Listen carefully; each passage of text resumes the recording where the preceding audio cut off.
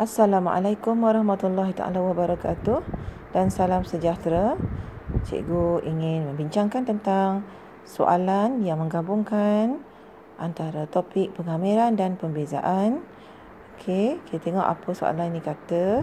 Fungsi kecerunan suatu lengkung yang melalui titik P negatif 15 ialah 6x tolak 3x kuasa 2. Okey, begini caranya kita nak tulis.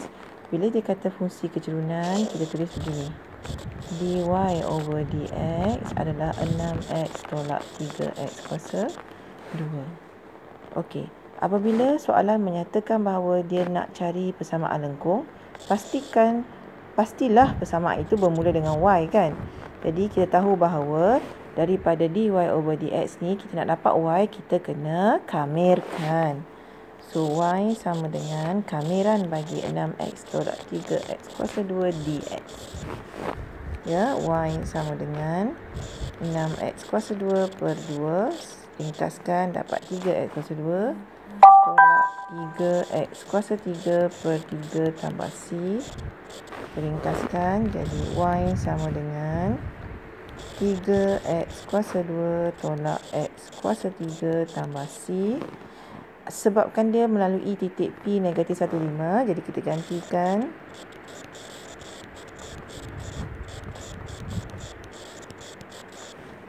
Okey, 5 tom sama dengan 3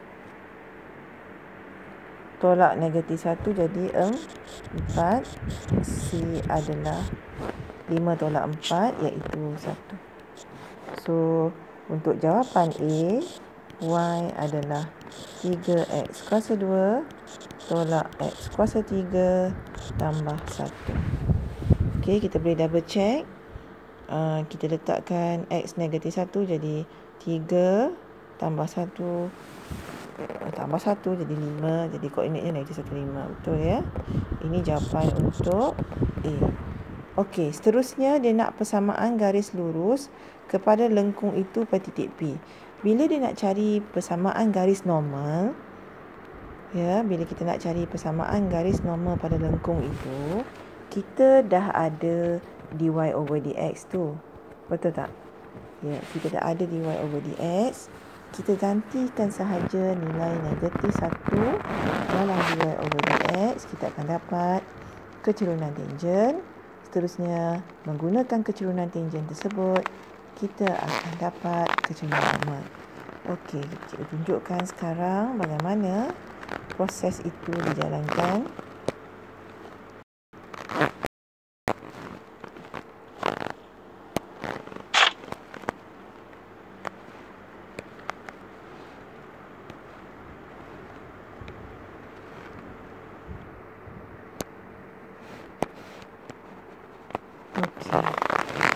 Asalnya dy over dx adalah 6x tolak 3x kuasa 2. dy over dx adalah mewakili kecerunan tangent.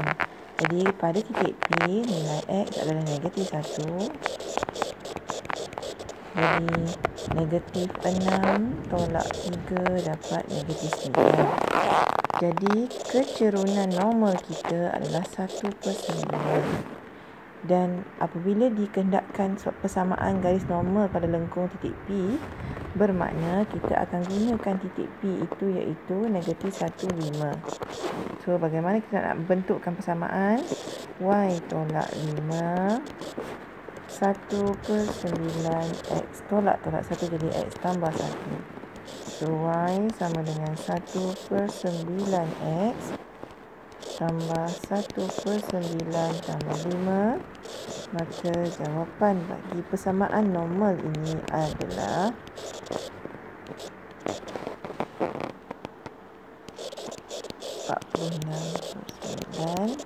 ataupun kalau nak lebih selesa boleh sahaja tulis nilai y sama dengan x tambah